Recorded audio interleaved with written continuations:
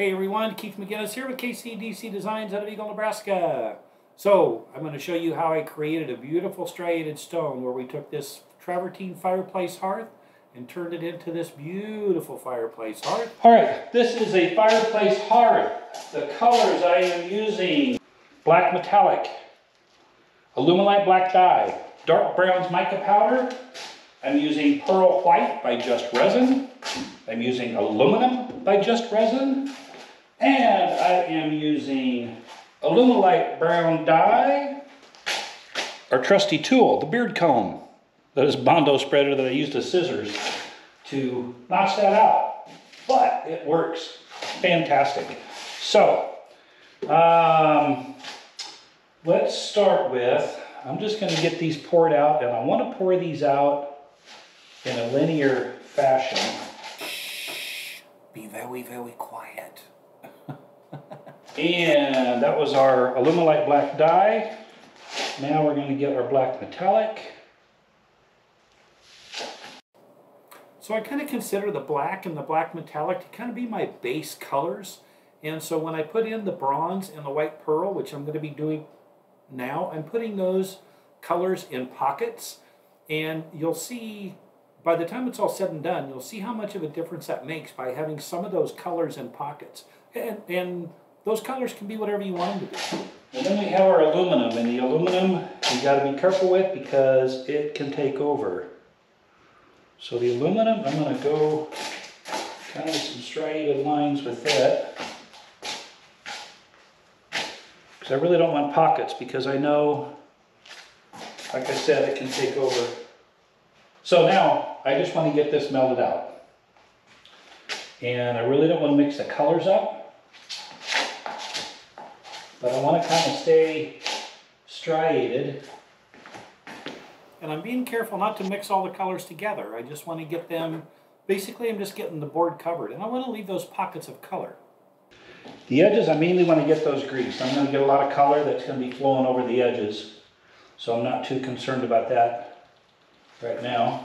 All right, now I'm gonna get some of our Alumilite brown dye. Let's get some going right here. Now the reason that I added the Alumilite brown dye after I melted all the colors in is because I wanted that brown dye to be on top. If you haven't worked with that Alumilite opaque brown dye, it is absolutely gorgeous. All right, now let's have a little fun with our Bondo spreader. But while we are really fluid,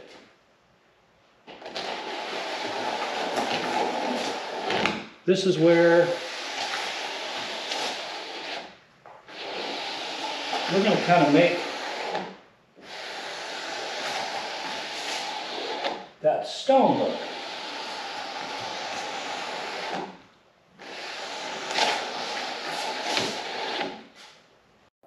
And again, the reason I'm using the Bondo spreader is I, I want to give that, that look of layers. All right, now I'm going to heat, I'm going to heat that up just a little bit because I'm going to tilt it. So let's get some pockets here. So what I'm doing here is I'm heating up some, some areas, and it's the areas that I want to move the most when I tilt uh, the piece. So when I tilt it up, those areas that I heated, uh, are going to want to flow more than some of those other areas. And, and the reason for tilting it, again, is to kind of take away that man-made look and make it look more authentic. And now let's tilt it back the other way. So if you have a project that you're able to tilt, you can tilt it side to side, you can tilt it back and forth, whatever you want to do to get that epoxy to move where you want it to move. So I mixed up, actually, I mixed up copper glitter, bronze galaxy, and the burnt caramel. And I'm going to let that sit for a little bit, thicken up.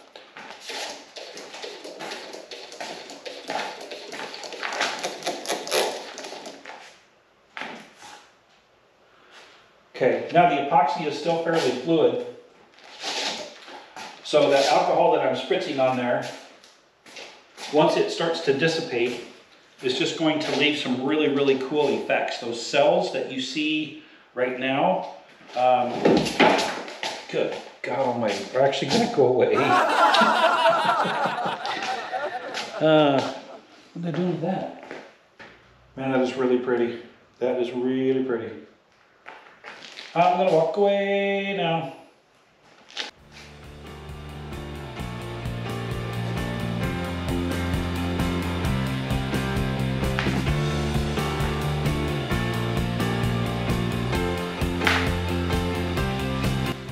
I don't know if you can see some of that bling that's in there, if the glare is just right. It's really cool how it flowed over that rock edge.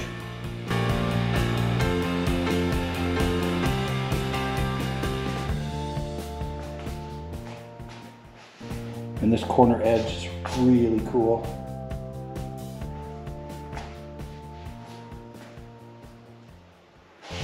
And we got some bling going there.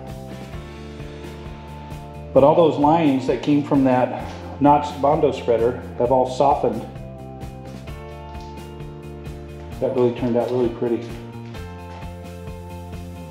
And I really think what made the difference with this piece over the one that I had done earlier is that brown Alumilite dye. See those perpendicular lines that were put in there by the torch? Those are still going to continue to develop but really makes for a really cool effect.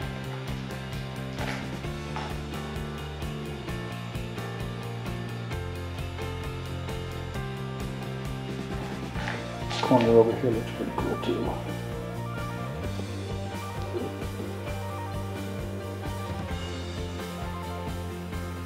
All right, I'm walking away. And the customer absolutely loved going from that travertine tile to a beautiful fireplace hearth where the colors all tie in together. Uh, I did apply the Ultimate Top Coat Natural, which is the matte finish, and I will have a video in a full tutorial on how I apply the Ultimate Top Coat Natural, uh, and I have very, very good success with it. But this piece really turned out nice. Thanks everyone for watching. Let me know if you have any questions. Appreciate your comments. And don't forget to subscribe for upcoming tutorials. And this is Keith McGinnis. We will see you on the next video.